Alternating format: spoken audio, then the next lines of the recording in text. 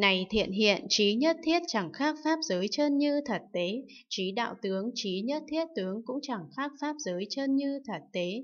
Này thiện hiện, 32 tướng đại sĩ chẳng khác pháp giới chân như thật tế, 80 vẻ đẹp phụ thuộc cũng chẳng khác pháp giới chân như thật tế. Này thiện hiện, quả dự lưu chẳng khác pháp giới chân như thật tế, quả nhất lai bất hoàn A-la-hán quả vị độc giác cũng chẳng khác pháp giới chân như thật tế. Này thiện hiện, tất cả hạnh đại Bồ Tát chẳng khác pháp giới chơn như thật tế, quả vị giác ngộ cao tột của chư Phật cũng chẳng khác pháp giới chơn như thật tế. Này thiện hiện, pháp thế gian chẳng khác pháp giới chân như thật tế, pháp xuất thế gian cũng chẳng khác pháp giới chân như thật tế. Này thiện hiện, pháp hữu lậu chẳng khác pháp giới chân như thật tế, pháp vô lậu cũng chẳng khác pháp giới chân như thật tế. Này thiện hiện, pháp hữu vi chẳng khác pháp giới chân như thật tế, pháp vô vi cũng chẳng khác pháp giới chân như thật tế.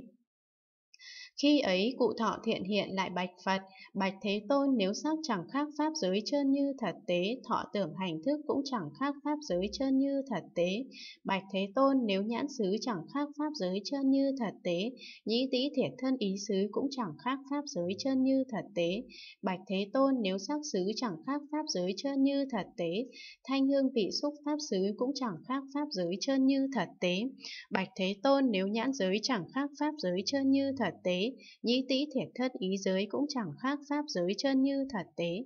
Bạch Thế Tôn nếu sắc giới chẳng khác pháp giới chân như thật tế, thanh hương vị xúc pháp giới cũng chẳng khác pháp giới chân như thật tế. Bạch Thế Tôn nếu nhãn thức giới chẳng khác pháp giới chân như thật tế, nhĩ tĩ thể thân ý thức giới cũng chẳng khác pháp giới chân như thật tế.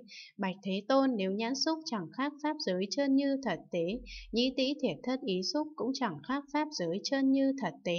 Bạch Thế Tôn nếu các thọ do nhãn xúc làm duyên sanh ra chẳng khác pháp giới chân như thật tế, các thọ do nhĩ tĩ thiệt thân ý xúc làm duyên sanh ra cũng chẳng khác pháp giới chân như thật tế.